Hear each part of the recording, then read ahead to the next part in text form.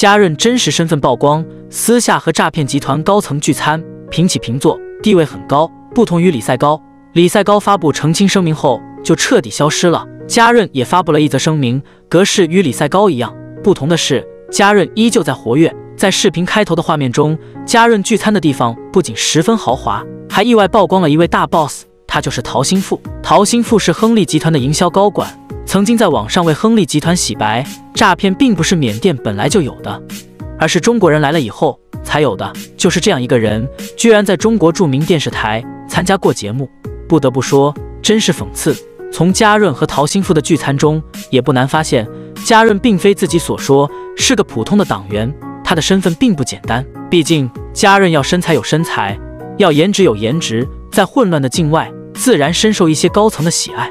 而李赛高就不同了，像李赛高这样的棋子，完全可以随意抛弃。